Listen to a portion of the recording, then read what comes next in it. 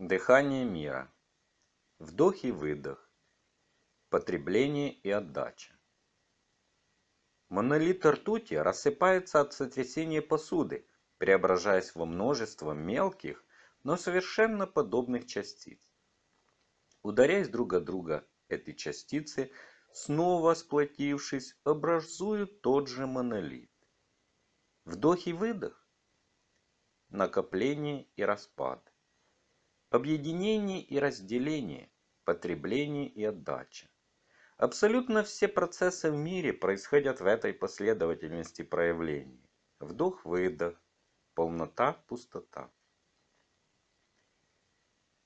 Накопление сил и затем их угасание. Трансформация, дыхание мира, вечность. Значит и полнота, и пустота закономерны и переменны, так и да, мой друг, полный начинает отдавать от себя, а пустой вынужден впитывать в себя. Два направления течения силы – в себя и от себя. Потенциальная и кинетическая энергия. По всем своим функциям каждый из нас находится в одном из этих состояний. Либо впитывает силу в данный момент проживания, либо ее источает, отдает. Дед, а берущий силу – это вампир? Я бы попросил тебя реже пользоваться этим словом, ибо оно несет в себе содержание насильственной природы. Это можно сказать просто – берущий силу или впитывающий силу. В любом случае, это следствие скопления во времени отрицательных энергий. Кто-то ведь из нас в данный момент пребывает в стадии наполненности и готов отдавать лишнее. А кто-то из нас в данный момент находится в стадии опустошения и потому ищет того, от кого можно наполниться. Не стоит отрицать факт. Есть два направления сил. От себя и внутрь себя. Это ты должен знать.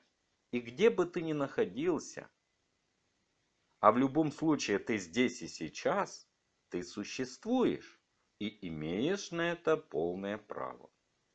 Почему я против таких слов, как вампир? Все по той же причине пространственно-временных связей.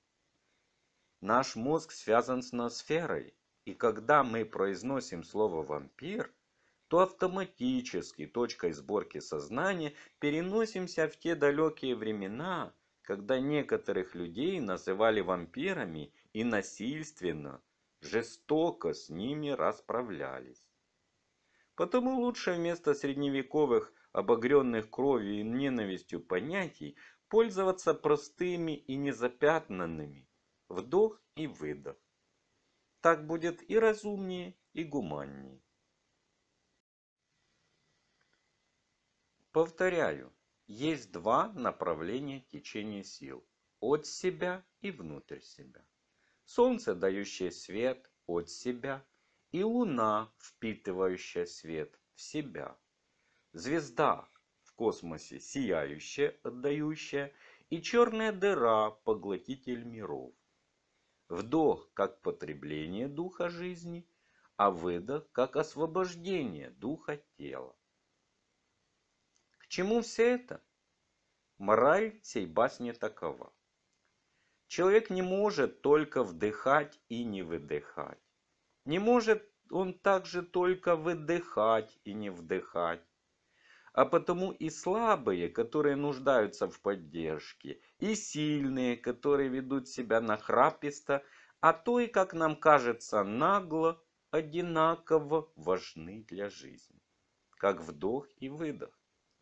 А потому думаю про себя, стоит ли кого-либо или в чем-либо упрекать, критиковать. По молодости незнанию – да. Десятки лет я упрекал и критиковал. Не мудро, да. Но, как понимаю сейчас, селяви, такова жизнь, всему свое время.